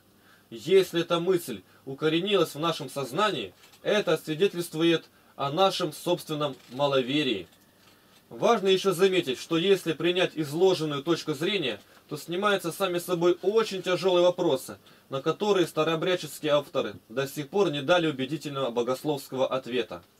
Например, как с богословской точки зрения объяснить, что Вселенская Церковь, коль скоро Церковь старообрядческая считает себя таковой, на 180 лет во всемирном масштабе лишилась епископства, чего ни на один день не оставались лишены даже отпадшие от православия общества нестариан и монофизитов. Если старобряческая церковь есть вся в совокупности церковь кафолическая, по определению, только одна в мире, обладающая полнотой благодатных дарований, то как же она утеряла самый естественный и необходимый дар, дар воспроизводства священства, и обходилась исключительно тем, что, так сказать, брало его взаймы у церкви новообрядческой. Да, если говорить о сегодняшнем дне, многие благодатные дарования вовсе незаметны в нашей церкви. Мы говорим о себе, что мы, одни мы, та вера, которую исповедали апостолы. Тогда где же в нас хоть малое малейшее проявление духа апостольского? Мы исповедуем именно ту веру, что и великие вселенские учители Василий Великий, Григорий Богослов и Иоанн Златоуст, не правда ли? Где, скажите мне, в сегодняшнем нашем старобрячестве их дух, их дела? Не относятся ли и к нам слова Спасителя Христа, сказанные иудейским законникам? Если бы вы были чада Авраама, то и дела Авраамовы творили бы. Иоанна 8.39. А прежде того еще Иоанн Креститель говорит, «Может Бог из камней сих воздвигнуть детей Аврааму, уже и секира при корне дерева лежит. Вы всякое дерево, не приносящее доброго плода, срубают и бросают в огонь». Матфея, там, 3, 9, 10. У нашей церкви есть святое, Богом определенное предназначение, имеющее всемирно-историческую важность. И обязательно найдутся люди, которые будут его исполнять. Но если это общество людей, если та, скажем так, организация, которая называется Русской Старообрядческой Церковью, впрочем, все это можно сказать и о древлеправославной церкви, Новозыбковской, не захочет делать порученное ей дело, то эта организация, это общество может быть как бесплодное дерево, отринуто, срублено и брошено в огонь Божьим гневом. Бог воздвигнет угодных ему делателей из камней сих, из людей, которых соберет откуда ему угодно. Мы нуждаемся в новых основательных трудах по этой важнейшей для нас теме. Характерно, что старые работы старообрядческих апологетов, такие как «Церковь Христова временно без епископа», Усова, Ивана, может, или кто-то, впоследствии митрополита Иннокентий, разбор ответов на 105 вопросов, составленный в виде вопроса-ответов по материалам полемической беседы, но умение привести подходящую цитату из святых отцов, какую-то церковно-историческую аналогию, хоть и может доставить победу, в частном споре, но для цельного богословского осмысления проблемы совершенно недостаточно. Я выскажу свое понимание предельно кратко, поскольку церковь, как уже было сказано, после раскола в годы гонения оставалась все-таки одна, то старобрядцы имели епископа всегда. Это были те епископы, рукоположенные, которыми священники, переходя к старобрядцам, служили у них. Да, эти епископы подчас были гонителями тех своих овец, которые оставались при старых обрядах. А овцы, в свою очередь, гнушались этими архипастырями как еретиками. Состояние ужасное, противоестественное, но если взять сравнение из мирской жизни, состояние гражданской войны еще не означает распада государства. Так и здесь. Церковь есть примирное царство во главе с бессмертным царем, богочеловеком Иисусом Христом. И человеческим лишь разделением оно не могло быть разрушено. Нежелание понять и исполнить то, что хочет от нашей церкви, губительно для нас. И не только в конечном счете, а уже теперь. Однако, увы, пока мест наше иерархическое начальство озабочено хлопотами о том, кто будет править в ней, а как церковный корабль будет дальше плыть по мирскому морю, оно предпочитает не задумываться. А что там думать? Как до сих пор плыл, так и дальше поплывет. Если, если стоящий у кормила церковного не желает видеть, что их корабль несется на скалы, или понимает, но не умеет поправить положенное положение, Положение. а сказать боятся, парализованные стыдом и страхом, то совсем не обязательно всем плывущим на корабле сложить руки и ждать смерти. Кто понимает смысл происходящего, правильно сделает, если что есть силы, закричит о грозящей опасности. Найдутся, конечно, такие, что скажут, замолчи, паникер несчастный, есть капитан, ему виднее. Другие уточнят, да что вы слушаете этот бред, он сумасшедший, разве не видно? Его связать надо. Нет, не замолчу, и связать себя не дам. Я буду спасаться, уцепившись за какую-нибудь доску. Но ведь это же не дает почти никаких шансов на спасение. Вот точно так вот я делаю, что говорит, ну в православии вы там делаете, там, там все сгнило, там не за что ухватиться. Вот он как говорит, это мне как будто бы мои мысли перешли к нему. Сколько времени? Почти никаких, но у Бога все возможно. Час 14. Иначе на этих, из этих шансов еще меньше. Нестись на скалы, зажмурив глаза, это уже самоубийство, грех, включающий в себя и неверие, и отчаяние. Да. Если человек, выбравший спасение на доске, все-таки уцелеет, никто не назовет его предателем своих погибших товарищей по плаванию, его никто не осудит. Если же выплатить ему не удастся, Бог примет его душу. Тут 50 страниц. Ну еще придется досчитать это одно. Рвать никак нельзя. Это послание его. Важнейшее послание. Досчитай, пожалуйста. Итак, Его никто не, не осудит. если же выплатить ему не удастся, Бог примет его душу. Итак, я делаю то, что могу в данных обстоятельствах и для собственной души, и для старобряческой церкви, которую люблю, и которой никогда не изменял и не изменю, и для Вселенской церкви, церкви апостолов, мученика великих великих учителей, сокровища спасительной истины и духовных даров, наследницы Царствия Христова, которые я исповедую символе веры, и член, который я уповаю быть и в нынешнем веке, и в будущем, и я верю, что если не теперь, то когда-либо, когда угодно будет Богу, и простые православные христиане, священники, епископы и целые соборы подтвердят, излагаемые здесь учения, как католическое православное, согласное с Духом Божиим.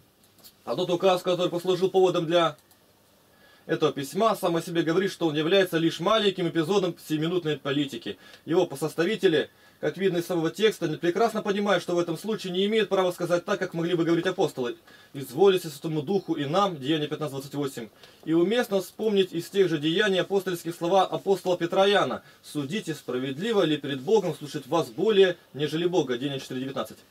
Каждый, хоть немного знавший покойного владыку, с уверенностью скажет, что указ написан не им и даже не с его слов. Автором его, по всей видимости, является Рябцев.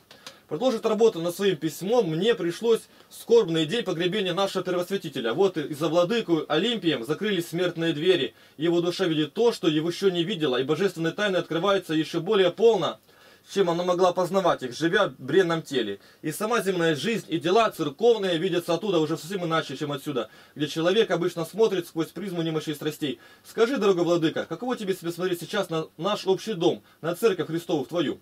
Дай нам совет, как теперь возвращать упущенное, восстанавливать разрушенное, сживать великие соблазны, как учиться нам заново любить Бога и друг друга, и искать не земной корысти, а Царствие Божие и правды Его. А ты понимаешь, каким настроением он это писал? Ты сейчас дуришь.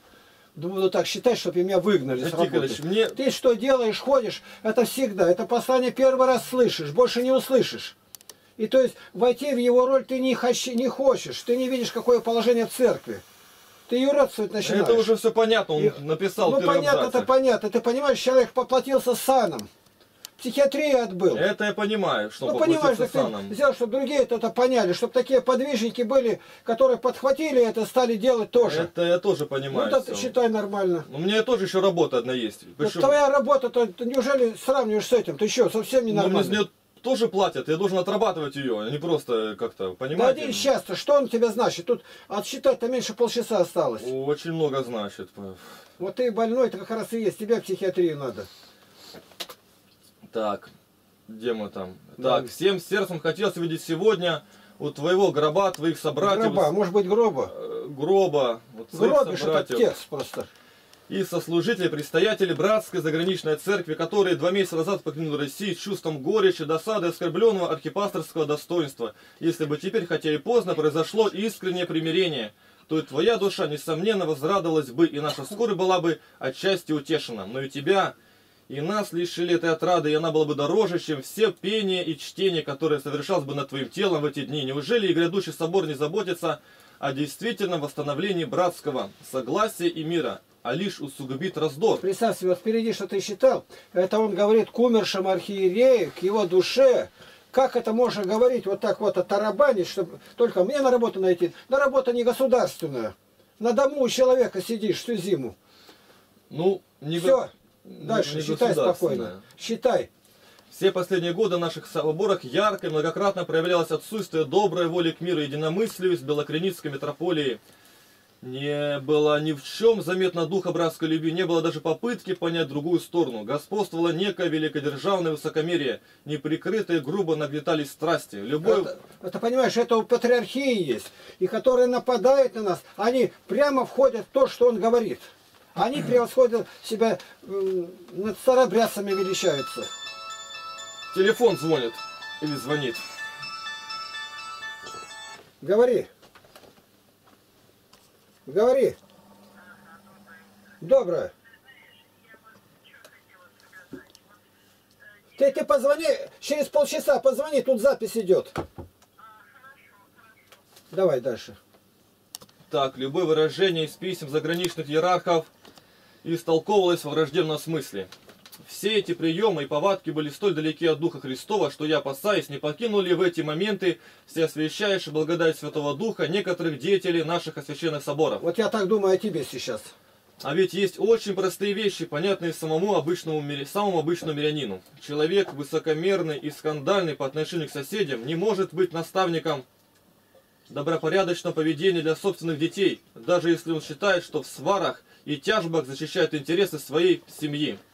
Подать э, малым сим пример враждов- враждотворства, это значит вести их во многие грехи и беды, напротив, способность смириться и уступить ради того, чтобы сохранить братскую любовь и избежность соблазна, избежать соблазна, признак учеников Христовых. Об этом Слово Божие говорит нам. Возьмите иги мое на себя и научитесь от меня, ибо я кроток и смирен сердцем, и найдете покой душам вашим. Это говорит старообрядцам, они 11:29. нуждаются в этом. Если я, Господь и Учитель, умыл ноги вам, то и вы должны умывать ноги друг другу, ибо я дал вам пример, чтобы и вы делали то же самое, что я сделал вам. Иоанна 13, 14, 15. Потому знают все, что вы мои ученики, если будете иметь любовь между собою. Иоанна 13, 35. Не станем же более судить друг друга, а лучше судите о том, как бы не подавать брату случая к преткновению и соблазну. Итак, будем искать того, что служит к миру и взаимному назиданию. Римлянам 14, 13, 19. Ничего не делайте по любопрению или по тщеславию, но по, но по смиренному мудрию почитайте один другого высшим себя. Филиппийцам 2.3. К великому сожалению, по отношению к братской церкви мы, поступ... мы поступали все это время отнюдь не в соответствии с этими господними апостольскими словами. Дивно ли, что в внутренней церковной жизни они не исполняются, а господствует настроение прямо противоположное. О, как. Это относится ко всем, и особенно к патриархии, католикам, к баптистам, ко всем относится. Это пророческий глаз прозвучал над Россией. Дух гордости, зависти, вражды, беспредельного корыстолюбия и других грубых и низких пагубных страстей прочно утвердился среди тех, которые пытаются вершить ныне судьбы церковные у нас в Москве. Они настолько не живут Христом, Его Словом, Его заповедями, что возникает вопрос, веруют ли они в Него вообще? Вообще, начиная от патриарха до самого низу, от митрополита до низу, во всем везде, от любого сектанта до низу. Ты слова-то прочитай, какие он говорит. Дух гордости, зависти, вражды, беспредельного корыстолюбия и других грубых и низких пагубных страстей прочно утвердился среди тех, которые пытаются совершить ныне судьбы церковные у нас, в Москве, не в Риме. Что ты не можешь понять, что слово-то прожигающее? Это за сто лет первый раз человек заговорил. Так, где тут что тут? Э, Настолько не живут Христом, Его Словом, Его заповедями. Так, помнят ли вообще они о нем? Или, может быть, глядя на икону Христа, они молятся кому-то совершенно другому? Неужели, по их мнению, воля Божия в том и состоит, чтобы некая династия могла беспрепятственно, не считаясь ни с какими законами, удовлетворять за церковный счет любые свои прихоти, и при этом уже до конца развращаться, теряя христианский нравственный облик? Это сегодня вот эти все, которые миссионерские отделы делают, томские и другие, это развратники главные. Они души умерщвляют, они не видят, что среди кладбища, среди скота могильника находятся. И вот заговорил человек, откуда совершенно не ожидали, старообрядцы. Это безмолвная зона, зона молчания сто лет. И вдруг прорвался один голос, они бросили, сами его задушили сразу. Еще хуже то, что их вера, я оставлю кавычки, потому что эта вера не в евангельском смысле. Их мораль, в кавычках, прививается молодому священству и мирянам, становится общепринятыми, как бы естественными. Но все эти Осиповы, все это насаждают, вот эти, которые выступают священники-то. Смирновы особенно, вот эти вот убийцы, которые благословляют танки везде, в стране и за рубеж. Но в чем же тогда полагаем мы содержание и цель христианской жизни? Для чего мы тогда называем себя чадами Церкви Христа? Если все Евангелие это как бы не про нас, если наши нравы и повадки очень низки даже по мирским меркам. Мы надеемся, что покаемся перед смертью, а после смерти нас отмолят. Но живя всю жизнь не по совести, пребывая в фарисейском самодовольстве, мы перед смертью не способны окажемся понять глубину своего падения и весь ужас нашей измены Христу. Понимаешь, эти слова нельзя считать. Кому к горлу подкатывать? Господи, наконец-то ты восставил человека, который сказал это. Да, я, да, я понимаю. Да, все остальное не имеет смысла. Твоя жизнь и моя на копейки не стоит по сравнению с тем, что он говорит. Тут миллионы И стоят те, за кто останется после нашей кончины в таком же страшном обольщении, не смогут нам ничем помочь. Ибо Дух Божий в таких людях не пребывает. Ужас, ужас И на какой. страшном суде нам придется услышать одно. Я никогда не знал вас. Отойдите от меня, все делатели А он неправды. знал, на что идет. Что ему не выйти оттуда живым. Это исповедник, это трибуна, трибун нашего времени. Точнее же сказать, к церкви матери, если говорить о восстановленной в XIX веке и ныне действующей у нас иерархии, а не вспоминать до раскольные обстоятельства, которых теперь нет. Именно это пытается делать автор письма, к сожалению, тяжело больной и подавленный владыка, и на нем поставил свою подпись, которая в начале октября рассыпалась, свящ- Рассылалась. рассылалась священникам и содержала в себе клевету и на Белокреницкую митрополию, и на епископа Андриана. Между прочим, в нем И что пишется... интересно, его смерть непонятна. Адриан-то, который первый заговорил, прошло немного времени, он умер сразу. Он молодой еще был. Между прочим, в нем пишется, что московская кафедра по чести стоит непосредственно после Иерусалимской.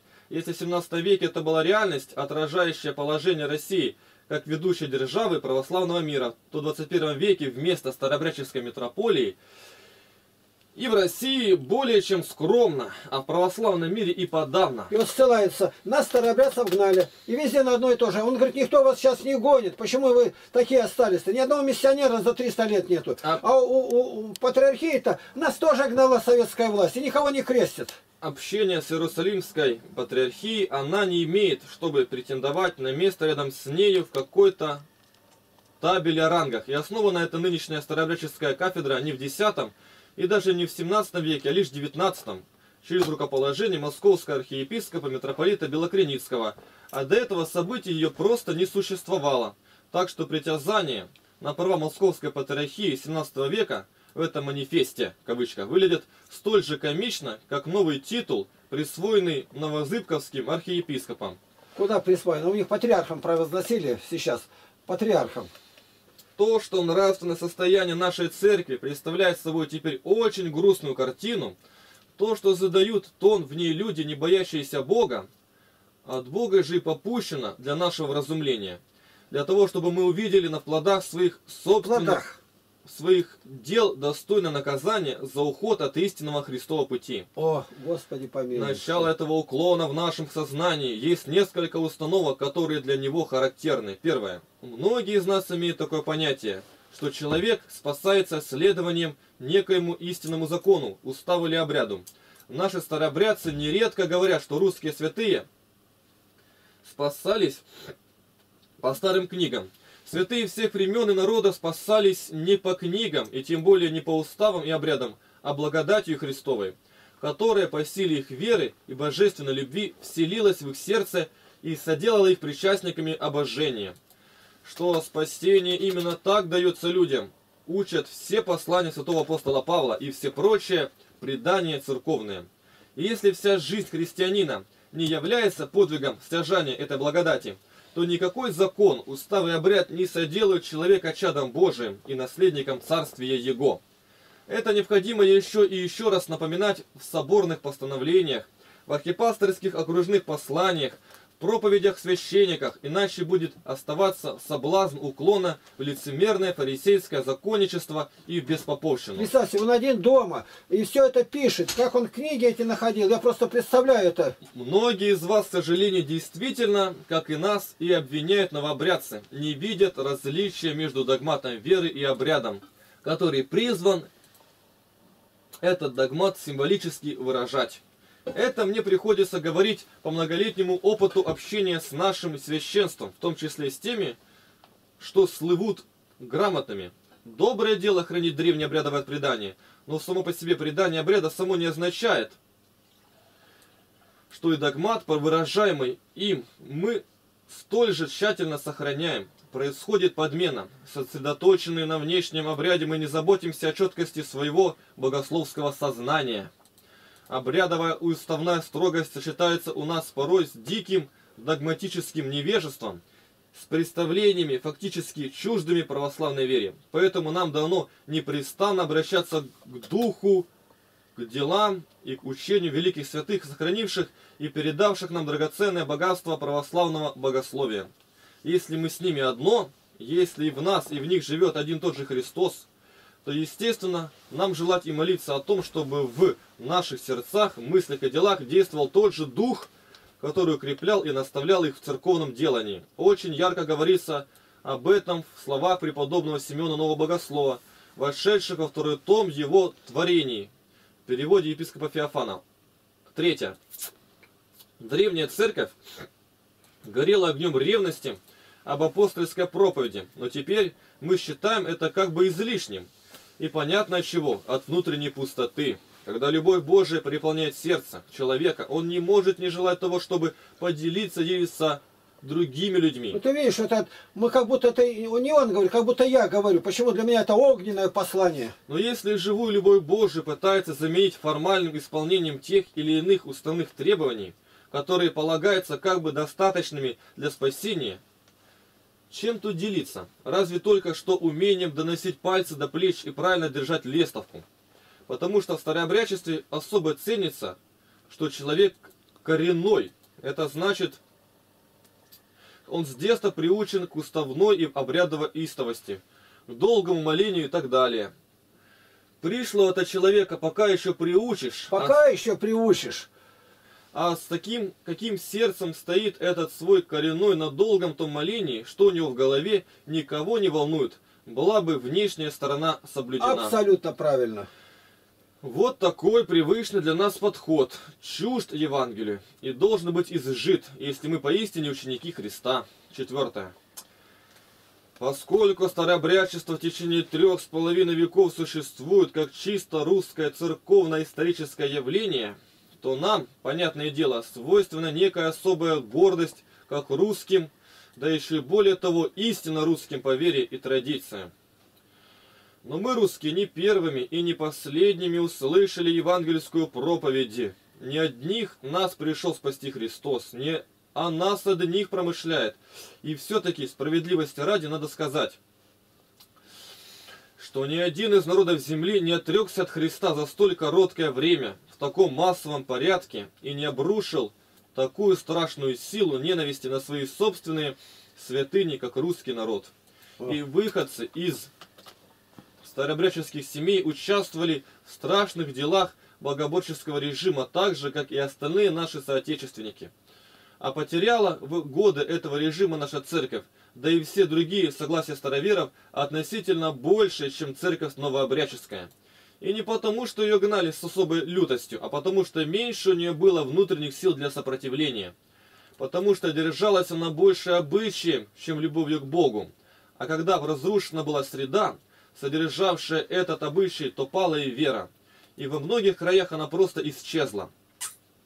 А где не исчезла, там духовный уровень ее, как правило, очень невысок. Так что хвалиться нам, как истинным русакам, как хранителям чего-то там такого древнего совершенно нечем. И меньше нам надо вообще о себе говорить и думать, как о человеках. Послушаем еще Павла. Желающий хвалиться по плоти принуждает вас обрезываться только для того, чтобы не быть гонимыми за крест Христов. Ибо и сами обрезывающиеся не соблюдают закона, но хотят, чтобы вы обрезывались, дабы похвалиться о вашей плоти. А я не желаю хвалиться, а разве только крестом Господа нашего Иисуса Христа, которым для меня мир распят, и я для мира, ибо во Христе Иисусе, с одной «и», ничего не значит ни обрезание, ни необрезание, но новая тварь. Галатам 6, 12, 15. Сказанное здесь об обрезании как ритуальном признаке еврейства годится по отношению ко всякой национальной и культурной и конфессиональной особливости или особливости – а хотя она и существует, но для причастия, благодати, спасения она ничего не значит, а имеет значение лишь подлинное обновление, преображение человека по образу нового Адама, Христа. И говоря о кресте Христове, апостол имеет в виду, конечно, не такой, не какой-то вещественный образ креста, а саму крестную смерть, который Господь искупил нас от греха и смерти и даровал спасение и жизнь вечную. У них вообще у старобрядцев порождения свыше понятия нет. Это не может написать человек, который не рожден свыше. Крестной жертвой Агнец Божий умертвил грехи всего мира и даровал жизнь вечную всему человечеству. И если мы не захотим намеренно уклонять свои очи от дел Божьих, то мы увидим глубину богатства и премудрости и разума Божия. Увидим, коли достижимы, непостижимы судьбы Его и неследимы пути Его, Римлянам 11.33, во всех племенах земных. И нельзя все проявления их духовной жизни, их пути ко Христу, мерить нашим русским аршином. Похоже это на наше или не очень. Итак, нам дано осознать себя частью всемирного спасительного промышления Божия и возлюбить путь к спасению и прочих народов, и участвовать в нем, как Бог повелит.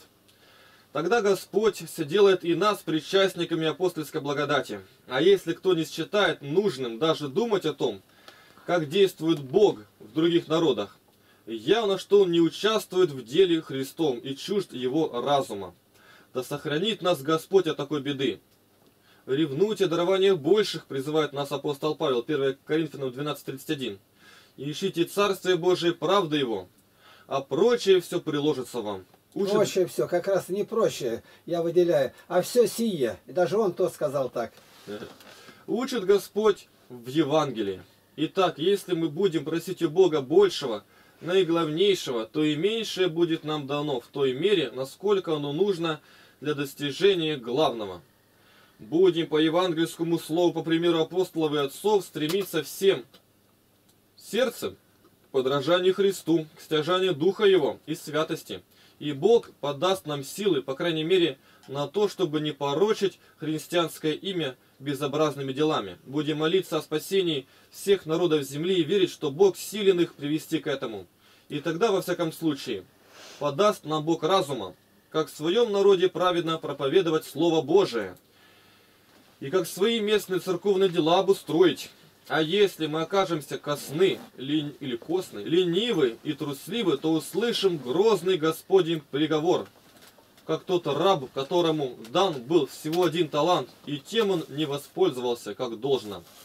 Всякому имеющему дастся и приумножится, а у неумеющего отнимется и то, что имеет. А, не, а негодного раба выбросьте во тьму в кромешную. Там будет плач и скрежет зубов. Матфея 25, 29, 30. Вот к этим вопросам, важнейшим для нашего общего церковного дела, а значит и для нашего спасения, я хочу привлечь внимание своих братьев. Ради них я и пошел на то, чтобы явиться притчи во языцах, покивание главы в людях. Их-то надо обязательно решить, прося духа премудрости, духа разума, духа страха Божия у просветителя. Это бесконечно важнее, чем разобраться с одним рядовым священником. Я самая маленькая частичка церкви, но она есть тело Христова. И верю, что Господь, желающий спасения всем, и меня, последнейшего, не оставит погибнуть в заблуждении. Он да будет свидетелем, что я не ради корысти или гордости говорю то, что говорю, и делаю то, что делаю. Я искренне желаю одного. Псалом 26, 4, 11, 14. Вот это вот мои слова. Для чего это гордыня, прелесть, гордыня, прелесть. Я делаю это для спасения. Погибшее все.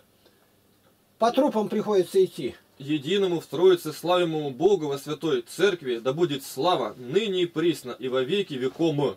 Аминь. Грешный раб Христов и Сын Церкви, его священноинок Симеон. Считай. 142 511 Московская область, Павлово, Посадский район, поселок Большие Дворы, улица Красавиной, 79 отцу Сергию Симеону Дурасову, ноябрь 2003 год, январь 2004 года, пишите нам. Ну и дальше откуда, что у нее есть портал. И теперь. Об открытом письме священноинока Симеона. Первое. Содержащееся в открытом письме отца Симеона Дурасова понятие Церкви Христовой осудить как противоречащее святоотеческому учению. Видите, святоотеческому. Это на него уже какой отзыв пошел, на Старобрядческой церкви принять к сведению признание отца Симеона, что его открытое письмо содержит погрешительные формулировки, неприемлемые для церкви. Какой церкви? Для старообрядцев. Кичиться-то нечем. поручить канонической комиссии с привлечением соответствующих специалистов и отца Симеона подготовить материалы по данному вопросу к очередному священному О, как их собору. задело это. 4. Исключить отца Симеона из состава учебного совета Московской митрополии.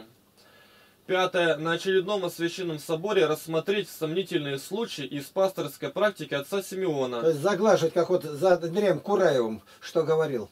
В пятом томе «Открытым оком» вопрос 1441 говорит об этих же бедах. Ответ старобряческого инока Олимпия на письмо священноинока Симеона Дурасова. Кавычки открыто. Это на него уже сейчас долбят чем?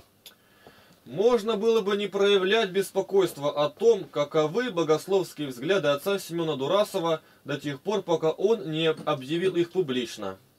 И поскольку действия ближнего всегда следует истолковывать скорее в лучшую сторону, чем в худшую, то хотелось оправдывать его шаги и обстановкой того времени, и чисто по-человечески.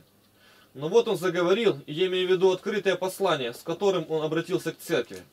После этого уже исчезли всякие иллюзии. Читая его строки, каждый мыслящий православный человек скажет «Среди нас волк». Вот как они к нему отнеслись. Точно такие слова обо мне говорят. Патриарши. Вопреки этому весьма невежественно отстаивать утверждение, будто перед Богом все равно все едины. И якобы до Бога человеческие соб- так, заборы не дорастают. Признать конфессии, перечисленные отцом Симеоном, в качестве поместных общин единой церкви невозможно даже с чисто административной позиции, уже хотя бы потому, что они существуют параллельно на канонической территории друг друга. Видишь, о чем ссылается-то? Он вообще...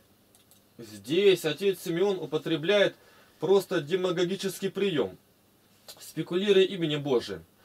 А до каких пределов в состоянии сужаться Святая Вселенская Церковь, до поместных или вообще узких, пусть он спросит святого Максима.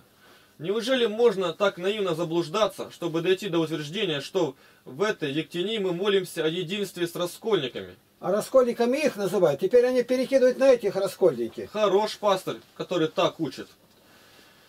Но таков стиль мышления отца Симеона, также побеждающий логику и свидетельство предания, кавычки открыты, благодатью, любовью и культурными вкладами разных народов, кавычки закрыты, перед чем бессильны законы мышления и смолкают книги. Поэтому решительно отвергнем беззаконную любовь, ложную премудрость и фальшивую кафоличность, которую он нам предлагает. Теперь остается исследовать происхождение и природу того новоиспеченного учения, которое провозглашает отец Симеон.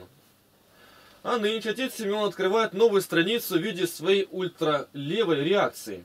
У святых отцов сказано, что путь добродетели – это середина между недостатком и излишеством. Например, целомудрие находится между окаменением и распущенностью, правда между коварством и неразумием и так далее.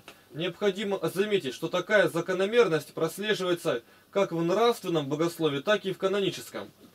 Потому-то мы с окружным посланием в середине неокружники были справа, тяготея к беспоповским взглядам. А отец Симеон оказался по левую сторону, примагниченный никонианами. Таким образом, его учение все-таки новое и чуждое православию, как противоречащее святоотеческому. Но и те конфессии, которые он невидимо соединяет, далеко не все идут в восторг, придут в восторг от взаимного общения э, в благодати, которое отец Симеон им навязывает. Несмотря на это, его миролюбие таково, что одинаково примиряет всех, невзирая на возражения. Жаль только новостильники и римокатолики его так обидели, что не хватило на них братской любви. Зато теперь никто не сможет назвать его традиционным экуменистом. Все пока. А это вопрос другой, я его отрублю на другое время. Да ладно, что тут осталось уже, дочитать его, да и все. Ну, к этому как бы не относится, но в это входит. Я могу отдельно вынести, ладно. Это уже не относится к старообрядцам.